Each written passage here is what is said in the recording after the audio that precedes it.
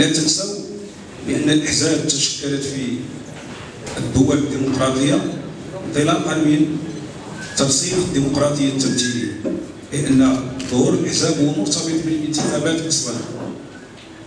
ولأن الحزب أداة من أدوات ممارسة السلطة فينبغي أن يقدم مرشحين ليحصلوا على ثقة الناخبين وبالتالي تدبير الشأن العام أو الشأن المحلي.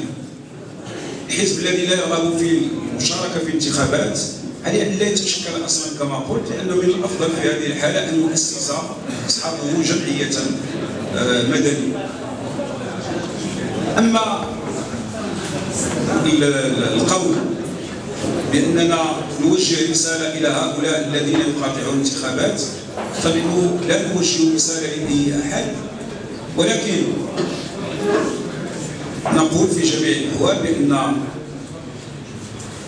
مسؤوليتنا تحتم الآن إقناع المغاربة بالانخراط في العمل الحزبي ليس في العمل السياسي لأنه كما قلت المغاربة يمارسون السياسة حتى بعزوف وهم يعبرون عن المواقف السياسية ولكن بالانخراط في الحزب السياسي كما قلت في الكلمة أمام المؤتمر التأسيسي 1% من المغاربة هم المنخرطون أو الملتزمون بالعمل الحزبي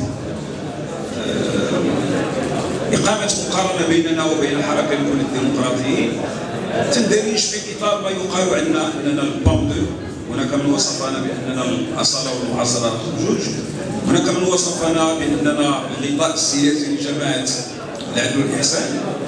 قبل قبل شهر كنا في قبل شهر كنا في مدينة الجليلة.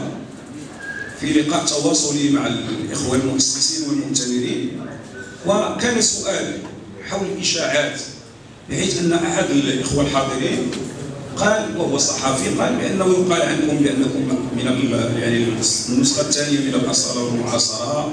هناك من يقول بأنكم من يعني الغطاء السياسي لجماعة الإحسان.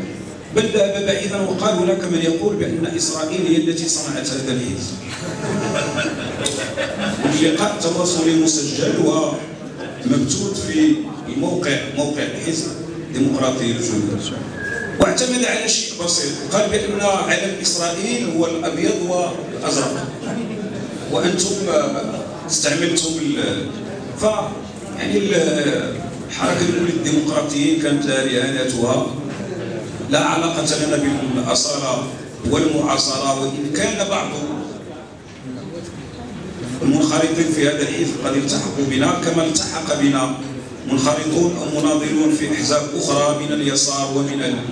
ولو أنني لا لا أستخدم هذا التصنيف. ولكن كما قلت 85% من المنخرطين في الحزب لم يسبق لهم أن كانوا في أحزاب أخرى هم جديدون على الممارسة الحزبية وبالتالي تظل نسبة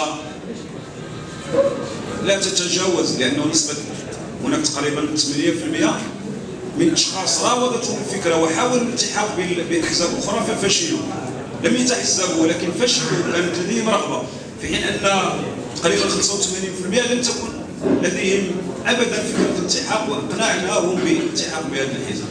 نسبة 7% التحقت بنا من مناظري أو منخرطي الأحزاب الأخرى. ولكن لا يوجد من بينهم قيادات معروفة على الصعيد الوطني. هم مناظرون لم يجدوا أنفسهم في تلك الأحزاب وما دام أنهم عبروا عن الالتزام بأهدافنا ومبادئنا فحزبه كما ينص على ذلك القانون هو مفتوح في وجه جميع المغاربة جميع المواطنين المغاربة بدون استثناء.